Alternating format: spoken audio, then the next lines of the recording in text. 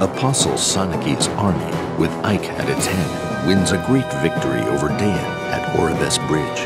However, Apostle Sanaki elects not to pursue the retreating Daein forces. Instead, she petitions King Pelleas for permission to pass through Daein. After waiting for several days, she receives no reply, and Sanaki reluctantly orders a march.